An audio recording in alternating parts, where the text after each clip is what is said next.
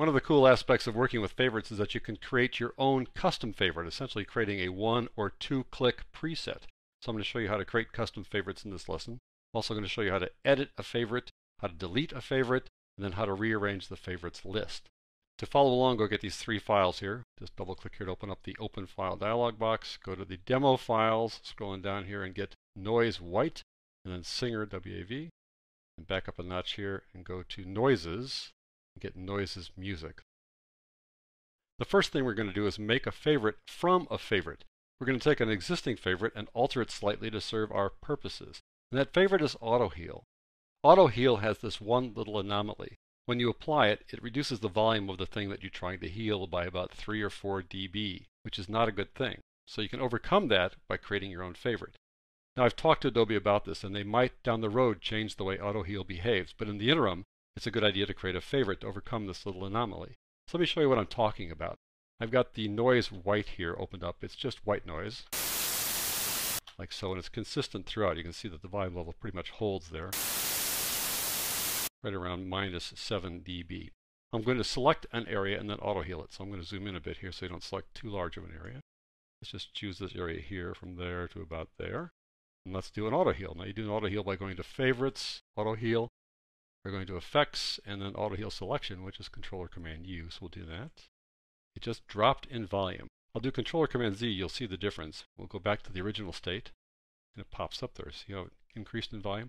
Now I'll do controller command shift Z to redo it and watch the volume drop. Actually it goes down about 3 or 4 dB depending. So that's a little anomaly we're going to overcome by creating a custom favorite.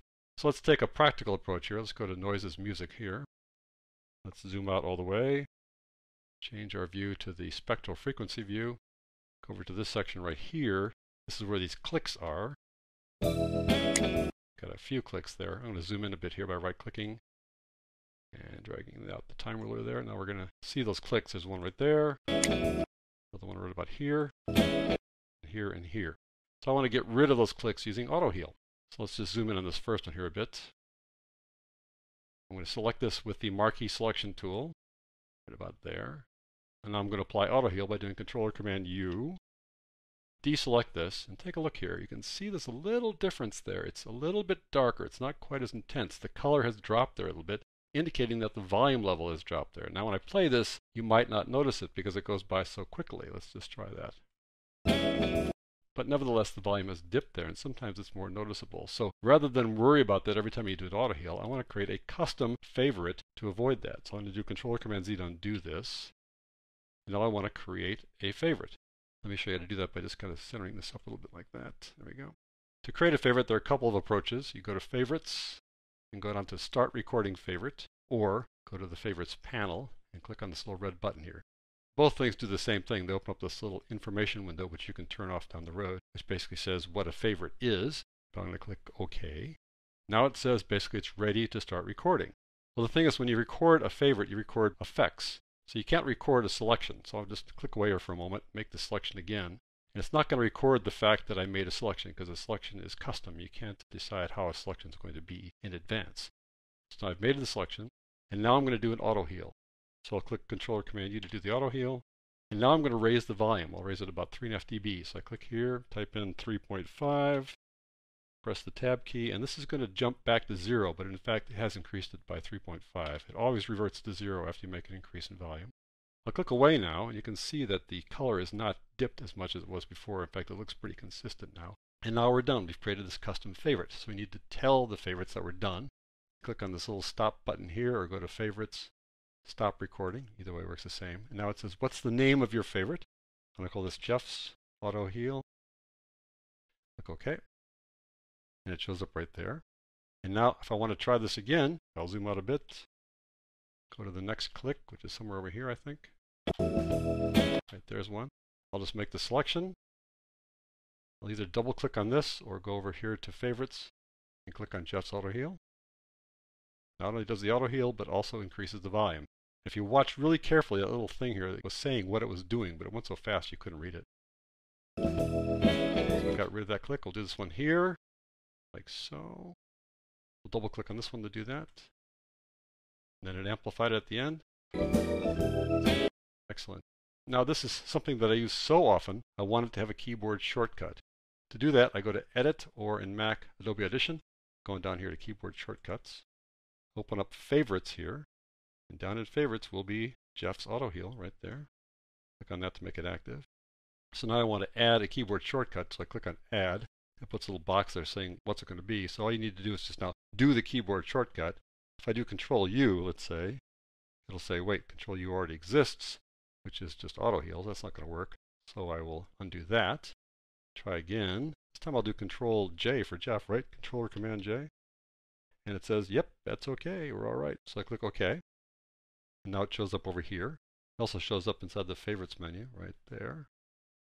So now I want to move this to the top of the list. So I click on this little button there, and it automatically puts it at the top, which is something that surprises me. I would think that you have to manually put it there. Because these guys you need to manually move around, but for some reason it takes the ones that you create and automatically puts it at the top, which is fine. If I take a look at the favorites list here now, you'll see that it's at the top here. So I'm going to leave that button turned on. If I turn it off, it then pops back down again, which I'm guessing is probably not really the way they intended this to work, but nevertheless, with that on, it's at the top here, and I'll leave it there. All right, now I want to create another custom favorite. This one involves a number of effects.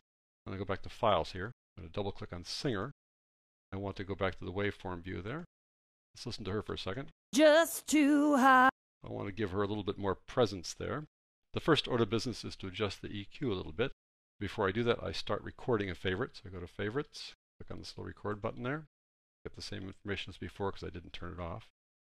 Now I'm going to go to Effects, Go down to EQ, go down to Parametric Equalizer, pick a preset here, the Vocal Enhancer. We'll try it out first.